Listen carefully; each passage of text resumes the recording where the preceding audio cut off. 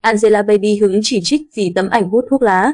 Gần đây, nữ diễn viên bị chỉ trích hành vi hút thuốc, vướng nghi vấn tụ tập ăn chơi cùng nhiều đồng nghiệp nam trẻ tuổi.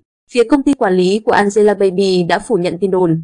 Ngày 19 tháng 9, SCMP đưa tin Angela Baby vướng rắc rối vì một bức ảnh cũ. Gần đây, blogger thời trang Bingo Hu chia sẻ khoảnh khắc nữ diễn viên tụ tập cùng nhiều bạn bè. Video thu hút hơn 120 triệu người xem. Sau khi loạt ảnh đời tư bị đăng tải, Angela Baby hứng chỉ trích và vướng vào nhiều tin đồn tiêu cực. Nữ diễn viên gây tranh cãi với hành vi hút thuốc lá. Người đẹp cô Phương bất tự thưởng được cho là người nghiện thuốc lá nặng. Lần đầu tiên nữ diễn viên bị gặp hút thuốc là năm 2008, sau đó cô tuyên bố cai thuốc. Vì vậy, loạt ảnh Angela Baby hút thuốc nói trên khiến công chúng đánh giá cô là người không giữ lời hứa, lối sống không lành mạnh dù có con nhỏ.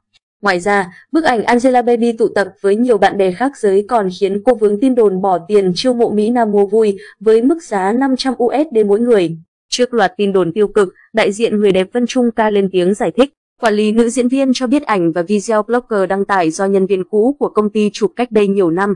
Người này đã nghỉ việc. Angela Baby cùng bạn bè tụ tập khi rảnh rỗi để chơi game và tán gẫu xả stress, không có hành vi nào thiếu chuẩn mực đạo đức. Các nhân viên và đại diện của Baby cũng có mặt trong buổi tụ họp. Liên quan đến việc nữ diễn viên hút thuốc lá, quản lý cho biết người đẹp đã cai thuốc từ năm 2020. Vì vậy, phía Angela Baby quyết định khởi kiện các tài khoản lan truyền tin sai sự thật về cô. Angela Baby hiện là minh tinh 8X nổi tiếng tại Trung Quốc. Nữ nghệ sĩ gia nhập giới giải trí khi 14 tuổi, ban đầu là người mẫu ảnh và chuyển sang đóng phim vào năm 2007.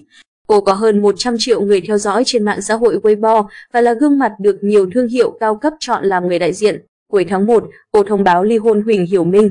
Sau đổ vỡ hôn nhân, Angela Baby dồn sức cho công việc. Thời gian nghỉ ngơi, cô dành chăm sóc con trai Tiểu Hải Miên. Hiện, ngôi sao sinh năm 1989, còn hai bộ phim chờ chiếu là Mạn ảnh tầm tung, Trần Duyên.